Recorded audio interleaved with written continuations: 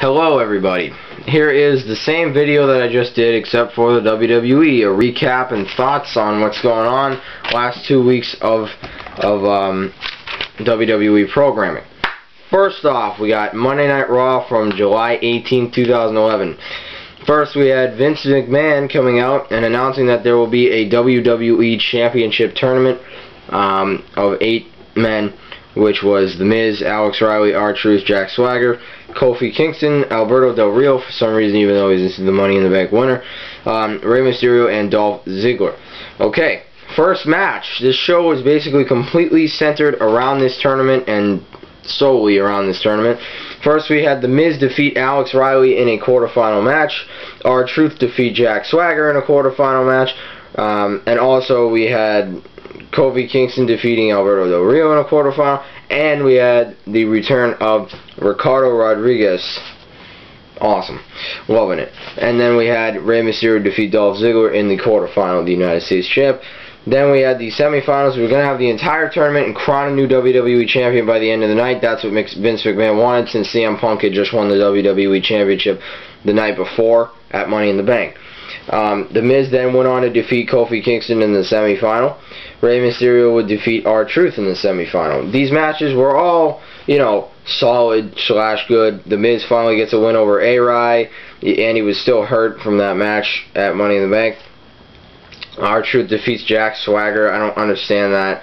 Um, I don't understand how Jack Swagger could could fall so far. It's really a sad thing.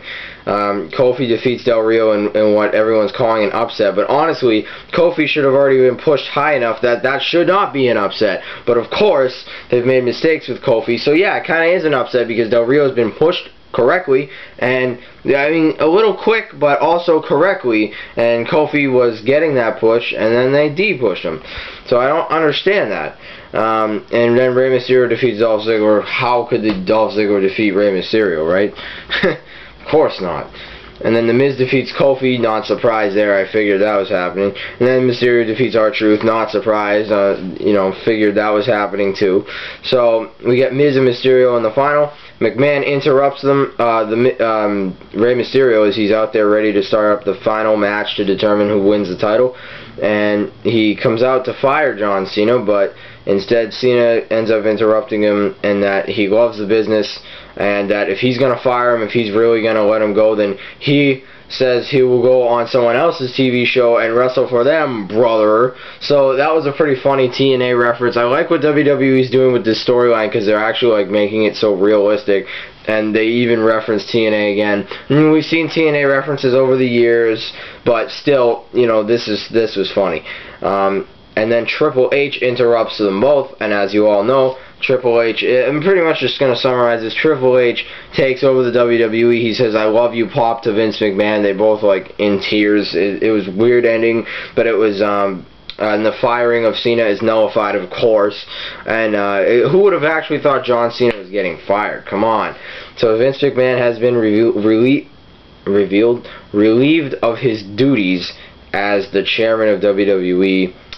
And um, some people were saying nah nah nah, uh, hey hey hey goodbye. Um, I'm not gonna sing it out. You already know how it goes. Um, and others were saying thank you, Vince. So I, I think the right respectful thing to do would be say thank you, Vince. Um, that's kind of uh, disrespectful if you were um, hey hey goodbye, you know. But um, all right, so that does it for Raw. That was a somewhat good. it was a good show, but you know, I mean, the whole show you felt CM Punk's presence there, you know, because you know the whole reason they're even having this tournament or anything was just because CM Punk won the championship. So this whole show was basically based off CM Punk without him actually appearing on the episode. Then we go to Friday Night SmackDown 72211. Notes and important events. Um, first, we had Randy Orton. Um, uh, Orton comes out says he has unfinished business with Christian, pissed about him spitting in his face. I'm sorry, I just almost couldn't even write read my own notes. Um, pretty much can't write. Yeah, that's true. Uh, Christian then comes out, tells Orton that he should be um, pushed to the back of the line. Of course he's going to say that, even though Christian got like four straight rematches. Orton comes to beat on him, but Long and referees block him. Long says he can't have his rematch due to his match with Kane that very night. in the street fight. Christian will be facing Ezekiel Jackson in a singles match. As Orton goes to leave, he beats on Christian, oh, uh, you know, just a few punches in there. Um, I'm almost forgetting the opening segment of SmackDown because Raw kind of overshadowed SmackDown. Plus, it's been a long time since I watched SmackDown for 722, um, July 22nd. Um, then we had that first match, which was Christian and Ezekiel Jackson. Christian defeats Ezekiel Jackson. I think he's yet to win except maybe one title defense, he's yet to win as the Intercontinental Champion. I don't even know if he's had a title defense yet. But um, if he did, it was one against Wade Barrett or something. But yeah, he has never won, I don't think, a singles match as Intercontinental Champion, which is surprising because he was getting pushed. And now that he's actually champion for once and he's actually holding a belt, um, they aren't giving him any victories. Uh, so then Daniel Bryan um, is interviewed by Michael Cole in the ring. Um, and he has a good promo um, saying that he will cash in his Money in the Bank at WrestleMania 28 main event. And then Heath Slater comes out and says that Bryan will lose in his cash in at WrestleMania. Blah blah blah. And I, you know, honestly, this match was good. We had Bri uh, Daniel Bryan versus Heath Slater, he, who uh, Daniel Bryan defeated him by uh, disqual um, disqualification uh, submission using the LeBell lock. And um, that was actually a really good match. Um, I was surprised to see that, and but I, I what I like out of this is that D Daniel Bryan um, Daniel Daniel Bryan is uh, actually announcing a date that he's going to cash his money in the bank in, which I like. It's something different. We've only seen it once with RVD. He's the only person that's actually cashed in in a in a fair um, one-on-one matchup, which wasn't really one-on-one matchup. It was kind of like the whole crowd and RVD versus John Cena. Well, they didn't interfere. I'm just saying like they they were so against John Cena. It was funny, but um yeah. So um, yeah, I was glad to see Daniel Bryan actually announce a date to cash in. I don't blame him, damn it. Go for the gusto. Go for the fucking WrestleMania. Try to win your first world title at the biggest pay-per-view of the whole year. I hope they actually build up a good feud so that whoever he does face in that cash-in isn't just like some opponent. It's actually like, um, he actually, you know, has a feud going with that guy.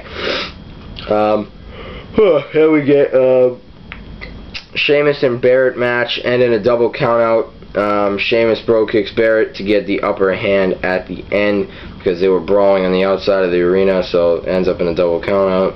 And bro kick to, to Barrett, and um, yeah, actually Barrett had hit Sheamus's pushed Sheamus into the uh, the the um, the ring post. Uh, really hard on his head, so I thought Sheamus was going to be out, but then I ended up being um, him turning around and hitting the bro kick anyway. Um, finally, we had Orton defeating Kane in a street fight. And then Mark Henry came out after the match to, and destroyed the hell out of Kane and hit this had the steel chair, um, wrapped it and put it in his leg, and then uh, oh man, again same thing that he did to Big Show. Um, yeah, uh, it was a good street fight though. I really enjoyed it, and um, uh, Kane actually kicked out of the first RKO, and then Kane actually hit the chokeslam on Randy Orton. I thought Kane had the win. Orton kicked out of that. This, the second RKO on a steel chair got Orton the win. Now we got Raw, July 25th. Rey Mysterio defeats The Miz to open the show for the WWE Championship to crown himself the winner of the tournament and new WWE Champion. Um, and then after that, The Miz was beating the crap out of him. Um, and he's walking back, and then all of a sudden Alberto Del Rio comes out and attempts to cash in. But as he's on the outside trying to get the cash in all set, uh, Rey Mysterio dove over the top rope and just, uh, oh, it was uh, a pretty cool dive there from uh, Mysterio. Uh, but yeah, so Del Rio's chances were uh, cut into zero, so he took his um, Money in the Bank contract and ran over the border. Um, then we had a singles match, which was uh, Evan Bourne versus Dolph Ziggler. Ziggler gets the win via submission. It's good. They're actually pushing Dolph Ziggler, and I like how they're having. He's saying that the U.S. title is the most important title. He's actually trying to bring some prestige back to it, even though that's going to be pretty hard to do. Um, then we have a uh, Triple H promo, his first promo as since becoming the new head honcho of the WWE. He acknowledges Vince McMahon's sex. sex yes, he acknowledges Vince McMahon's sex. Oh man, that that's gonna be a classic. Okay. um, He acknowledges Vince McMahon's success in the company's past. He goes on to say Mysterio will take on Cena for the title in the main event um, for his rightful rematch. He announces the re-signing of Jim Ross. I really thought this was going to be CM Punk. He's like, I re-signed this man, and it was Jim Ross. Awesome. On commentary for Raw, Cole gets up to argue that he will not work with JR, and Triple H says he will fire him if he doesn't show up for SmackDown um, this coming Friday. He's been given the night off for commentary due to a match that he will be having. Cole is obviously shocked, and he goes to the back to prepare. R-Truth then came out, which was kind of didn't make sense, um, and says, asks him what he'll do for him to Triple H, um, while talking to imaginary people, which, which was funny because he's like, yeah, it's a conspiracy to like the these like imaginary people, and then Triple H was mocking him. He's like, yeah, you think I should tell him? it's so funny. Um, he's like, what you doing, man? You talking to people that aren't even there. He's like, yeah, I know, I'm crazy, right? I thought that was pretty funny. Um, yeah, so then Triple H goes on to say he re-signed someone else, and it turns out to be John Morrison, who comes out and beats the crap out of R-Truth as R-Truth was about to leave. Um, which is cool, but I don't know why they had to re-sign John Morrison. I don't remember his contract ever being, like, negotiated. But, whatever. So then we had Michael Cole's match. He comes out to Triple H's alternate theme song, and um, he's wearing Triple H's tights, so it's like, oh no, I didn't just see Michael Cole in that. Um, and Zack Ryder comes out and beats him in about 10 seconds. Zack fucking Ryder makes TV two times in the last month, and he um, actually had a match and he won it too with the um, Rough Rider leg drop, some sort of thing. I don't even know. And then we had a rematch of last week. Alberto Del Rio defeats Kofi Kingston. uh, after last week, Kofi Kingston got the supposed upset over Del Rio. Then we have uh, Triple H also announced um, that he would have they would be having two WWE Championship matches earlier in his promo. The second one would be oh yeah I already uh, fuck I already said that. Sorry. he did announce that there would be two championship matches. John Cena gets his rematch against Rey Mysterio, the current champ. And we have a new WWE champion, John Cena, after Mysterio had to defend his title for the second, or for the first time, um, in the same within the same night after winning it, which makes no fucking sense because why would you do that? But anyway, they just want to put the fucking belt back on Cena. And now Cena has officially broken Triple H's record of most title reigns. in the history of the championship. Not exciting. Really sucks. Um, John Cena's fucking champion again. Yippee, the show sucks. And then all of a sudden CM Punk comes out. Everyone's like, because it's the new Cult of Personality theme song. So no one actually understood that it was CM Punk at first, which made it just made it that much more surprising it actually was CM Punk because the fucking Cult of Personality theme starts playing. He holds his title up as he gets in the ring above Cena and everyone just goes erupts. It was fucking great. Really good way to end the show, I gotta say, for what was a pretty good show. Um, next we had SmackDown, July 29, 2011. Um, starts off with Triple H. He comes out, talks about the complex situation on Raw and that two men have rightful claims, being CM Punk and John Cena, to holding the uh, championship, the WWE title. The Christian ends up coming out and says that um, he wants a good working relationship with him. Triple H um, takes an interruption as a slap in the face, and he says that I will slap you back harder, um, meaning that he's going to suddenly not like you. um, so he announces that there will be a no-holds-barred match for the World Heavyweight Championship at um, SummerSlam, and it will be against Randy Orton for his rematch. R-Truth comes out again and says that he's a man of action. Um, talks about the fucking conspiracy again. Triple H says uh, well, that doesn't make any sense. Christian goes to give him advice for R-Truth. Oh, Triple H says he will face Randy Orton in main event. Sorry about that, guys.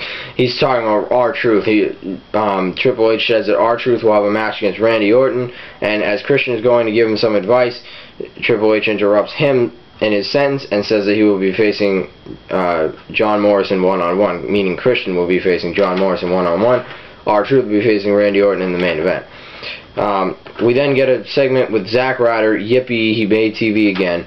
He's backstage pleading for TV time, and Triple H announces that Ryder will now be Teddy Long's assistant which is fucking weird. Then we had Christian versus John Morrison. Christian picks up the win. The rightful person won this match. It's a world champion. He should be winning matches. Then again, John Morrison loses his first match back. But it seems like Triple H has has good plans for John Morrison. The way he introduced him last week, the way that he had him in a match this week. So I'm thinking that that uh, Triple H has good plans for John Morrison. I really hope so. Next, we had a Wade Barrett promo. He talks about why he came to the U.S. to become a star, not for the fans blah blah blah, all about money. He's deserving of the money in the bank briefcase, and that Daniel Bryan's a piece of crap. Bryan comes out, says he's main eventing WrestleMania 28, and Barrett isn't. Uh, so that got Barrett pissed off. He ended up hitting him with a right hand. Um, and then, but then Daniel Bryan ended up getting him in the LeBell lock anyway, so um, he gets the last word.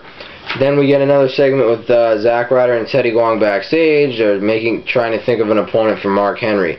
Um, meanwhile, we uh, have a Divas match. I, I didn't talk about any of the previous Divas matches because they all sucked. This one did too. I don't know why I wrote it down.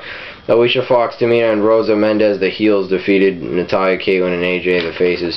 Um, yippee. So then we have Mark Henry out there waiting for his opponent. They give him some 180 pound guy named Bobby Howard. Um, and he just squashes him with a few world's strongest slams.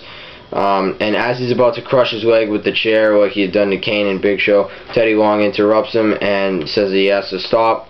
Henry's demanding competition. This the piece of trash you give me? And then um, out comes Sheamus, which was surprising. And I guess this is a face turn for Sheamus, which is surprising. First face turn. Not saying I wouldn't mind it. Um, says that he's going to fight him. Um, and then uh, slabs him across the slabs him slaps him across the face. Wow, I just cannot talk today. Um, Mark Henry comes at him, and Sheamus just holds the ropes down. Mark Henry's big fucking body goes blah, blah, blah, to the outside of the ring, and I guess this is pretty much Sheamus's face turn. I'll be happy to see it. He's getting in a feud with Mark Henry. Not a bad feud, as long as you don't start burying Mark Henry now all of a sudden, because Mark Henry's on a rampage. I don't mind what's going on either. Then we have McGillicutty and Otunga retaining their tag titles over the Usos. Wow, unannounced tag team title match with three tag teams, the whole fucking company. Yay!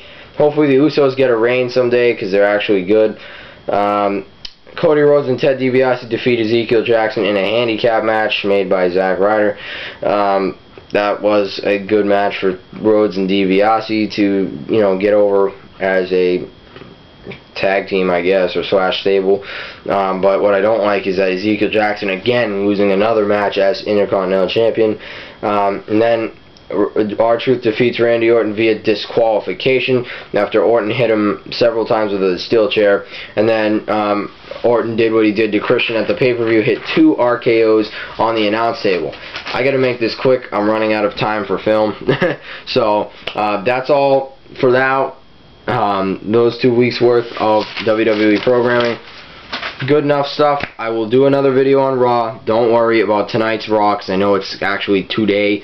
I didn't mean to make these videos so damn late, but that's what I think about those two weeks worth. Let me know your thoughts of what's going on lately. I just figured I'd fill in all the time that I've been out. So there you go. Um, peace out, and I will see you later.